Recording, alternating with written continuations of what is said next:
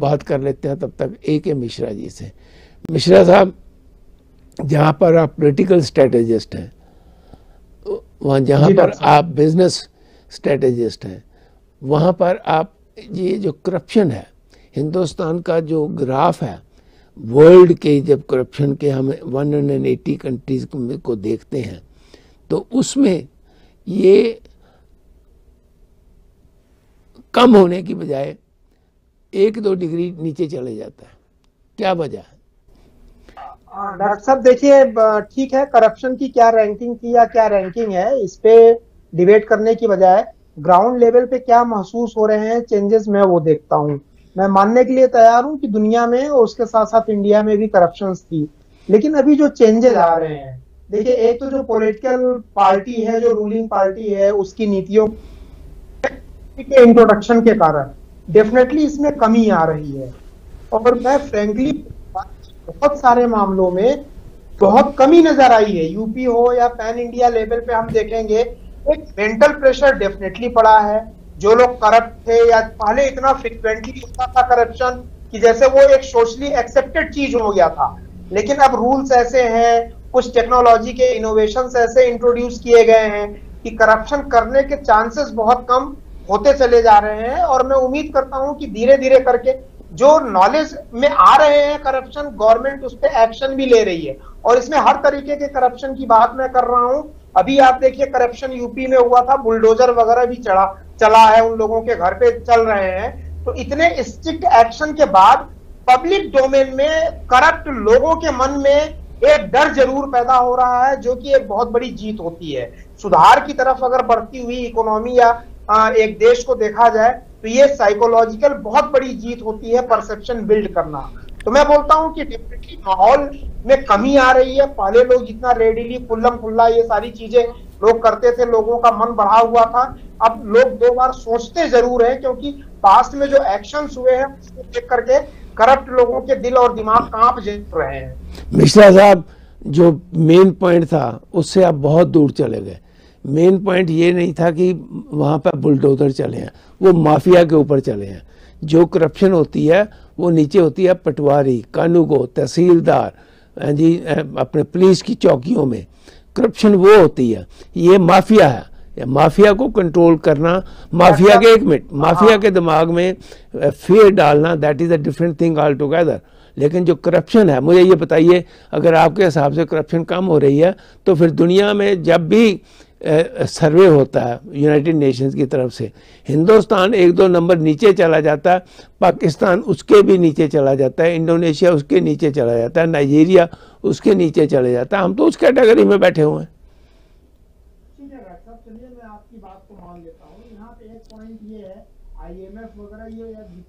आप ये देखिए ग्लोबल लेवल की जितनी भी सर्वे कंपनी है उनकी हकीकत क्या है? चूँकि मैं बिज़नेस वर्ल्ड से जुड़ा हूँ उनके अपने एजेंडा होते हैं और उस एजेंडे को वो चलाते हैं। किस देश को ऊपर करना है, किस देश को नीचे करना है। और मैं इन्हीं एजेंसीज की बात करता हूँ। पिछले दो सालों में, तीन सालों में या पिछले पाँच सात सालों में भारत की ही रैंकिंग को ना जाने कितनी बार इन्होंने ऐसे चेंज किया है, ऊपर नीचे किया है और इतनी तेज़ी से तो चेंजेस होते नहीं है। मैं अभी भी इस चीज़ को मान रहा हूँ। जो आप ग्रास रूट लेवल के करप्शन की बात कर रहे हैं ना, जहाँ सौ रुपए दे दिए जाते हैं, पचास रुपए दे दिए जाते हैं मैं सबसे ग्रास रूट लेवल की बात कर रहा हूँ, डॉक्टर साहब। अभी यूपी में कल ही योगी जी ने बोला है, ये साइकिल स्टैंड वगैरह जो सड़कों के किनारे पे लगते हैं, वो सबसे ग्रास रूट लेवल है, जहाँ पे एक रुपए, पाँच रुपए या दस रुपए घंटे के हिसाब से साइकिल रिक्शा या गाड़ी पार्क की जाती है। वो ग्रास रूट लेवल का करप्शन है। उसके ऊपर कल उन्होंने अपना डिसीज़न दिया हुआ है कि इसको हटाइए। मेरे कहने का मतलब ठीक है, हम बहुत जो है हमारी रैंकिंग खराब हो सकती है लेकिन एक्शंस बड़े फर्म हो रहे हैं। ग्रास रूट लेवल पे उस, नहीं, उस पे भी हो रहे हैं और कार्रवाई वहाँ पे भी हो रही है। अगर कोई अधिकारी भी पकड़ा जा रहा है जूनियर या सीनियर अभी एक आईएएस ऑफिसर है मैं बताता हूँ। उनको जेल हो गई है। एक फीमेल आईएएस ऑफिसर है। हाँ, वो, और क्लर्क को भी नहीं छोड़ा जा रहा है। अरे अरे अरे मिश्रा साहब मिश्रा साहब 1952 से मैं देख रहा हूँ आईएएस ऑफिसर पकड़े जाते हैं। आपकी बात सही है और ये सब चीज़ें प्रैक्टिकल में होती थी। पाँच रुपए दस रुपए तक की रिश्वत यहाँ पे ली जाती थी जिसको जहाँ मौका मिलता था वो वहाँ पे रिश्वत लेता था या करप्शन करता था जिस वे में टेंजेबल इंटेंजेबल वे में किसी भी तरीके से उसको मौका मिलता था। और अगर ये मान भी लिया जाए कि पूरे सिस्टम में ही करप्शन का बोलबाला है देखिए, मैं एक चीज़ आपको बताऊँ, इसमें कोई गुरेज नहीं है कि यहाँ करप्शन नहीं था या नहीं है, या अभी हंड्रेड परसेंट खत्म हो गया है। लेकिन जो एक सिल्वर लाइनिंग देखने वाली चीज़ है ना, वो मैं, मुझे यहाँ पे दिख रही है। मैं आपको एक एग्ज़ाम्पल देता हूँ। आप ये देखिए, पहले अगर कोई आप पासपोर्ट बनवाने के लिए जाइए तो डेफिनेटली आपको पैसे वैसे लेने देने पड़ते होंगे। लेकिन जो मैंने बोला कि एक 360 डिग्री अप्रोच यहाँ पे गवर्नमेंट की तरफ़ से हो रहा है। मेरे कहने का मतलब ये नहीं है कि अब गवर्नमेंट या सरकार या नेता और अधिकारी सब एकदम फ्री फ्रॉम करप्शन हो गए, वो मन से बहुत पवित्र हो गए हैं, ऐसा नहीं है। लेकिन एक तरीका ये है कि जहाँ जहाँ टेक्नोलॉजी का इंट्रोडक्शन हो रहा है, मैं अपना एग्ज़ाम्पल देता हूँ, मुझे पासपोर्ट रिन्यू कराना था ऑनलाइन मैंने किया, मुझे टाइम मिला, किसी को मौका ही नहीं मिला कि वो मुझसे इंटरेक्ट करके मुझसे पैसे मांगे। तो मैं ये बोल रहा हूँ, जैसे अभी डायरेक्ट पैसे गवर्नमेंट ट्रांसफ़र कर रही है, जो मजदूर है या कोई बेनिफिट चाहे गवर्नमेंट पाँच सौ रुपए क्यों ना करे। पहले वही पाँच सौ रुपए लेने के लिए ग्राम प्रधान के थ्रू वाया वाया होकर के जाता था, ग्राम प्रधान से लेते थे, हर आदमी अपना हिस्सा रखता था।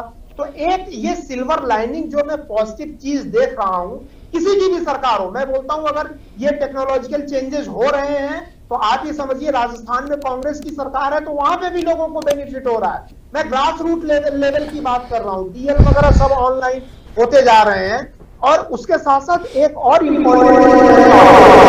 दुनिया में ट्रेंड सारी दुनिया में जहाँ करप्शन है, सबसे ज़्यादा वर्स्ट जो करप्टेड कंट्रीज़ हैं, जैसे नाइजीरिया है आपको भी पता है, ऐसे अफ्रीकन कंट्रीज़ हैं दो तीन और इंडोनेशिया है और जो कंट्री बदलाव के लिए कोई तो पहल करनी होगी ना डॉक्टर साहब। तो पहल हो रही है ये पहल तो सारी दुनिया कर रही है। पहल पहल अपने हिंदुस्तान अकेला थोड़ा कर रहा है सारी दुनिया कर रही है पहल। सारी दुनिया में ये एक मूवमेंट चली हुई है कि करप्शन जो है उसको रोकना है उसको कम करना है और हो भी रही है आहिस्ता आहिस्ता क्योंकि जो एफ्लुएंसी है जब गरीबी हटती है तो डॉक्टर साहब देखिए गरीबी हटती है तो करप्शन कम होता है। मैं पार्शियली सहमत हो सकता हूँ, उसके पीछे कारण है। इंडिया में देखिए, जितने करप्ट लोग हैं, उनको तनख्वाह की कमी है, पैसों, जो जितना ही अमीर अधिकारी है, नेता है, वो उतना ही करप्शन अब देखिए, फ़र्क कहाँ पे आ रहा है? बिहार के एक बहुत बड़े नेता हैं, वो जेल में रहे काफ़ी दिनों से, शायद अभी निकले उकले हैं, क्या है? जब वो, उनके साथ ये व्यवहार हुआ, चारा घोटाले में, उनके नीचे हज़ारों छोटे छोटे लोग थे, जो कि एक एक चौराहे पे करप्शन करते थे, क्योंकि वो लीड करते थे। वो पूरी टीम को ही लीड करते थे हर मामले में। अरे, नेताजी के आदमी है, कोई हमको पूछने वाला नहीं है। मेरे कहने का मतलब आपकी बात से मैं सहमत हूँ। मैं इंडिया को एज ए कंट्री पूरा मान के सारे स्टेट की मैं बात करूँ। देखिए, ये एक कलेक्टिव इफर्ट होना चाहिए। मैं इंडिया के किसी भी स्टेट की बात करूँ, आप राजनीति से हट के बात करिए, जो भी अट्ठाईस, उनतीस स्टेट हैं हर जगह चाहे एक परसेंट की ही कमी क्यों ना आई हो या मुश्किल क्यों ना हुआ हो करप्शन करने वालों के खिलाफ लेकिन चेंजेस आ रहे हैं। अब इतने जल्दी तो ये चेंज होगा नहीं, उसके पीछे कारण है। अभी भी हमारे सिस्टम में बहुत ज़्यादा मैनुअल इंटरफेरेंस है।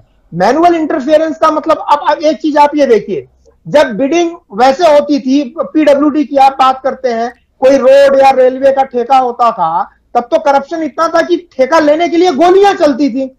जहाँ पे बिडिंग होती थी, उसके बाहर एक किलोमीटर के दायरे में दूसरे पक्ष को जाने ही नहीं देते थे। अब ऑनलाइन बिडिंग है। ऑनलाइन बिडिंग में जितने लोग बिडिंग कर रहे हैं, सब देख रहे हैं क्या रेट कौन डाल रहा है। जो एल वन जाता है, उसको मिल जाता है। इसी तरीके से जो मैंने ये बोला टेक्नोलॉजी इंट्रोडक्शन के साथ ही एक बहुत बड़ा चेक लग रहा है। जहाँ मैनुअल इंटरफेरेंस रुकेगा, वहाँ करप्शन के चांसेस उतने ही कम होते चले जाएँगे। फिर भी कहीं ना कहीं ह्यूमन इंटरेक्शन तो होता ही है। जहाँ ह्यूमन इंटरेक्शन होता है, वहाँ लॉ इन्फोर्समेंट की ज़रूरत होती है। अब बॉटम और टॉप दोनों लेवल से टॉप लेवल के अधिकारी, नेता वगैरह अगर दृढ़ प्रतिज्ञ हो जाए, सोच ले कि हमें प्रमोट नहीं करना है और नीचे जो पैसे देता है, अगर वो भी ये डिसाइड कर ले कि भाई हमें पैसे नहीं देना है, हमारा काम दस दिन बाद होगा, हम देख लेंगे। हम भी एक्चुअली इतने अधीर होते हैं कि हम दो दिन, चार दिन जो है, एक दो बार चक्कर नहीं लगा सकते। क्योंकि फाइट तो हमें भी करनी पड़ेगी, जंग तो हमें भी करनी पड़ेगी। अगर करप्शन से लड़ना है, जो आदमी आपका काम डिले कर रहा है, आपको उससे फाइट करना पड़ेगा। और मैंने ये देखा है, कई जगह पे अगर मेरे काम नहीं हुए हैं तो फाइट करने पे प्रॉपर वे में राइटिंग में कम्युनिकेशन करने पे, किसी भी गवर्नमेंट ऑफिसर की हिम्मत नहीं है। अगर प्रॉपर कम्युनिकेशन हुआ है तो अब गवर्नमेंट के एम्प्लॉय बहुत जवाबदेह बना दिए गए हैं, डॉक्टर साहब, मैं आपको बताऊँ। वो टाइम बाउंड हो गए हैं कि अगर कोई एप्लीकेशन जाती है तो इतने दिन में आपको ये स्टेप क्रॉस करना है, इतने दिन में ये कर, अभी मैंने जीएसटी के लिए अप्लाई किया था यू विल नॉट बिलीव मैंने ऑनलाइन अप्लाई किया, जाने की ज़रूरत नहीं ऑटोमेटिकली ईमेल पे चीज़ें आ गई कि भाई आपका हो गया कि कैंसिल हो गया, सारी अपडेट ऑनलाइन आ रही है, कोई करप्शन नहीं है। अदरवाइज़ यही मैं फ़ाइल फ़ाइल लेके जाता, चार लोग मिलते, पहले दलाल मिलता, फिर बाबू मिलता, फिर साहब मिलता। तो मैं ये नहीं बोल रहा हूँ। देखिए, मैं ग्राउंड लेवल पे हूँ। मैं नहीं बोल रहा हूँ कि खत्म हो गया है। लेकिन करप्शन करने के जो मौके मिलते थे, जो सिचुएशन बनती थी, उसको डेफिनेटली गवर्नमेंट ने लॉक किया हुआ है, कम कर रही है। और जितना ये कम होगा धीरे धीरे करप्शन भी मिनिमाइज हो जाएगा। हंड्रेड परसेंट तो खत्म नहीं हो सकता। ऐसा नहीं है कि अमेरिका में करप्शन नहीं है। अमेरिका में भी बहुत करप्शन है और कनाडा में भी बहुत करप्शन है। नेशनल या इंटरनेशनल लेवल पे जैसे भी देखा जाए। लेकिन मिनिमाइज वहाँ पे भी ऐसे हुआ। आप अमेरिका का इतिहास उठा के देखिए अल कपून वगैरह ये सब जब होते थे मैं करप्शन की हिस्ट्री बताऊँगा ऐसे ऐसे करप्शन वहाँ पे होते थे। अमेरिका की गवर्नमेंट ने भी इसी तरीके से फाइट किया जैसे हम कर रहे हैं सर। देखिए सबसे पहले मिश्रा जी बीएमसी के ऊपर कमेंट दीजिए मुझे बड़ा इंटरेस्ट है बीएमसी में। डॉक्टर साहब आपकी बात से मैं सहमत हूँ मैं वहाँ रहा हूँ और बात केवल ये बॉम्बे की नहीं है सारे महानगरों की है। कोलकाता दिल्ली में भी अगर बारिश हो जाए ना तो यहाँ पे पानी का जल जमाव हो जाता है, सड़क से लेकर के नाले होली और इसको कोई भी गवर्नमेंट, कोई भी नगर महापालिका अभी तक कर नहीं पाई है। रीजन बहुत सिंपल है, दो ही चीज़ें हैं। या तो आपको रिसोर्स आवंटित नहीं होते हैं, यानी पैसा, या आपके पास टेक्निक नहीं है, या आपके पास विल पावर नहीं है, आप करप्ट होके रिसोर्स और टेक्निक का प्रॉपर यूज़ नहीं करते हैं। समस्या अगर बनी है तो मानना यही पड़ेगा कि रिसोर्स और टेक्निक दोनों चीज़ें आपके पास हैं, आप उसको यूज़ नहीं कर रहे हैं। और ये प्रॉब्लम फिर वहीं पे आ जाती है कि लोअर लेवल से शुरू होते ही और टॉप लेवल तक, यानी टॉप और बॉटम दोनों लेवल में ये एक सिंक होता है करप्शन के लिए। भाई करप्शन क्यों कॉन्टिन्यूस चलता चला जा रहा है? नीचे वाले कर रहे हैं, ऊपर वाले आँख मूद करके बैठे हुए हैं, या ऊपर वाले कर रहे हैं तो हिस्सा नीचे वालों तक भी पहुँच रहा है। बम बम दोनों लोगों की हो रही है, दोनों लोग मज़े ले रहे हैं। तो ये यहाँ पे एक नेशनल कैरेक्टर बिल्डिंग का भी है, टेक्नोलॉजी का भी इन्फ्लुएंस लेना पड़ेगा और उसके बाद इनिशिएटिव हर लेवल पे लेना पड़ेगा। मैं तो बोलता हूँ एक विभाग में केवल एक अधिकारी अगर टाइट आ जाता है, हम अगल बगल अपने देखते हैं, केवल एक ईमानदार अधिकारी आ जाता है तो पूरे विभाग की चूल्हे हिल जाती हैं और करप्शन वहाँ पे बंद हो जाता है जब तक वो आदमी रहता है। बहुत सारे ऐसे आई ऑफिसर वगैरह रहे हैं या इवन एक क्लर्क भी अगर ठान ले तो उसका बॉस करप्ट करप्ट नहीं हो सकता है, वो घूस वूस नहीं ले सकता है। क्योंकि एक बहुत बड़ी कमज़ोरी भी होती है कि कहीं ऐसा ना हो कि बात खुल जाए, लोगों को पता चल जाए तो ये एक नेशनल विल पावर और व्यक्तिगत जो होता है कैरेक्टर की बात जो मैं कर रहा हूँ, कहीं से भी शुरुआत हो। और ये ये एक ऐसा यज्ञ है, डॉक्टर साहब इसमें सबको पार्टिसिपेट करना पड़ेगा। तभी हम इस पे मैनेज, एक सवाल आपने और पूछा था, कितने साल टाइम लगेंगे? नॉर्मली ऐसे सोशल चेंजेस लाने में पंद्रह से पच्चीस साल का टाइम लगता है, जबकि वो सारी चीज़ें चेंज होके एक स्वच्छ सोशल कल्चर के रूप में अडॉप्ट हो जाता मिश्रा जी, है एक सोशल बिहेवियर मिश्रा जी आप मिश्रा जी आप इसके बारे में क्या सोचते हैं? आने वाले टाइम के ऊपर ये बढ़ता जाएगा या कम होगा? डॉक्टर साहब देखिए क्योंकि रोग ये बहुत पुराना है और बहुत बुरी तरीके से पूरे देश में फैला है आपने बोला है। हो सकता है हज़ारों मंदिर हो जिसके ऊपर मस्जिद बने हुए हो। तो ठीक है उस वक्त गलती हुई। पूरे दुनिया में लोग अपने घर के सामने कार नहीं पार्क करने देते हैं। अब चलिए मैं इंडिया की बात करता हूँ। दिल्ली उल्ली में आके किसी के घर के सामने आप कार पार्क कर दीजिए, किसी दुकानदार के सामने आप बाइक पार्क कर दीजिए।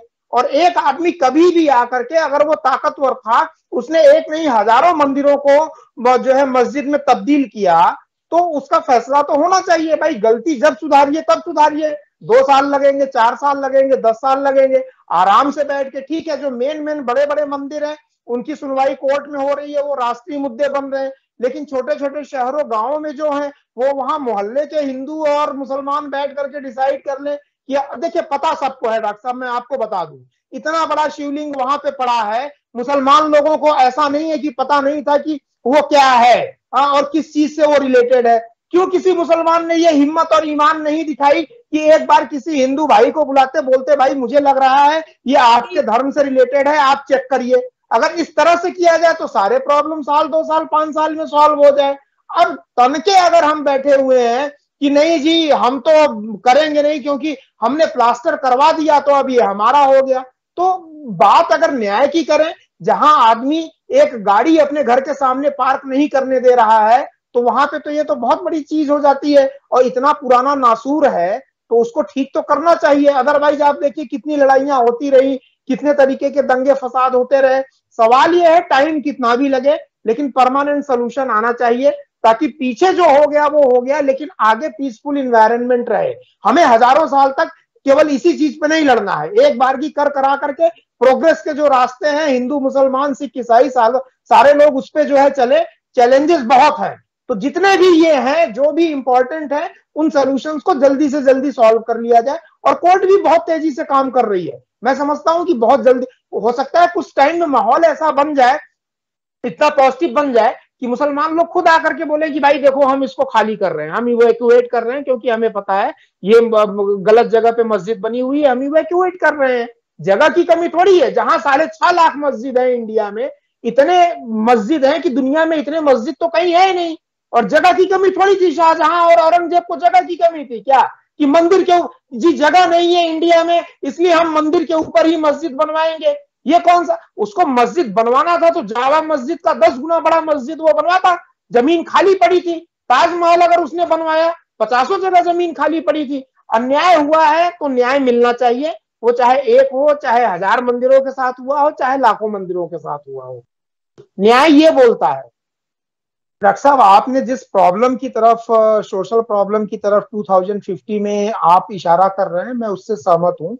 और रही बात शबनम मैम जो बोल रही थी, भाई ठीक है, अब हम प्रेम से प्यार से रहते हैं, सामाजिक ताना बाना अच्छा बना हुआ है, लेकिन वही ये दिखता है कि आप कहीं पे भी मुसलमान है, वो आपस में प्यार से नहीं रहते हैं। पाकिस्तान में देख लीजिए, अरब देशों में देख लीजिए, बांग्लादेश में देख लीजिए, हर जगह यहाँ पे भी देख लीजिए, वो आपस में भी लड़ते रहते हैं। आपका प्रॉब्लम आपने जो बोला है, मैं उससे कहीं ना कहीं इत्तेफाक करता हूँ। रही बात दो बच्चों वाला कानून एनआरसी वगैरह जो आ रहे हैं, ये सब इसके सोल्यूशन है। जो आपने बोला ये नहीं होगा, इसके पहले भी धारा 370 के बारे में मैं खुद ये सोचता था, ये पॉसिबल नहीं है। बहुत सारी चीज़ें ऐसे मुझे लगती थी कि भाई ये पॉसिबल नहीं है। लेकिन एटलीस्ट पॉसिबल होने के बाद मुझे लगता है कि ये गवर्नमेंट में देर से करे, सवेर से करे, कैसे भी करे, ये डेफिनेटली इस चीज़ को लाएँगे। दिस इज़ वन एक तो लॉ इन्फोर्समेंट हो गया दूसरी इंपॉर्टेंट चीज़ें ये होती हैं कि अगर लॉ बनेगा तो आपको बहुत सारी चीज़ों से वंचित कर दिया जाएगा। जैसे आप इलेक्शन नहीं लड़ पाएँगे, जो सोशल प्रेशर होगा इकोनॉमिक प्रेशर होगा एजुकेशन मुसलमानों में भी बढ़ेगी। अगर बढ़े तो बहुत अच्छी चीज़ है। हो सकता है उनको भी समझ में आए कि हमारे रिसोर्सेस क्या है और फैमिली प्लानिंग क्या है। लेकिन मैं इतना तो मुझे, मैं पॉजिटिव साइड में हूँ कि ऐसा कोई बहुत असंभव काम इस गवर्नमेंट में नहीं लगता है। कि दो बच्चों वाला रूल न लाए। भले ही हिंदू कुछ बोले, सिख कुछ बोले, मुसलमान कुछ बोले गवर्नमेंट एक बहुत लॉन्ग टर्म योजना किसी भी देश की गवर्नमेंट 2050 और 100 साल का सोच के चलती है। पॉपुलेशन डेमोग्राफी उनके पूरी, उनके पास डाटा रहता है डाटा साइंस रहता है, उस बेस पे वो काम करते हैं। अगर उनको लगता है लाना है तो वो ले आएँगे।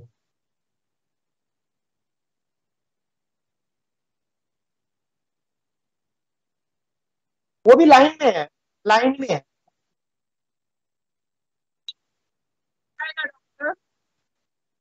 डॉक्टर साहब, सत्तर साल तक तो चर्चा भी नहीं, मैं मानता हूँ आपकी बात से मैं सहमत हूँ। लेकिन ठीक है, मैं बोलता हूँ कि यूनिफॉर्म सिविल कोड अभी नहीं है, आया। लेकिन कहीं ना कहीं डायरेक्ट इनडायरेक्ट वे में उस तरह की प्रैक्टिस शुरू हो गई है। आप, मैं बोलता हूँ यूनिफॉर्म सिविल कोड आप मत लाइए। लेकिन जो अभी तक लॉ बने हैं इंडिया में, उसी को प्रॉपर वे में इंप्लीमेंट करना, किस चीज़ का लॉ नहीं बना है, डॉक्टर साहब, आप मुझे बताइए। हर चीज़ का लॉ बना है। सवाल होता है इंप्लीमेंट करना। इंप्लीमेंटेशन को लेकर के भी गवर्नमेंट के एटीट्यूड में चेंज आ रहा है, डॉक्टर साहब। स्टेट लेवल पे भी, किसी की भी सरकार हो चेंज आ रहा है। गवर्नमेंट प्रॉब्लम को अब लिंगर ऑन नहीं कर रही है।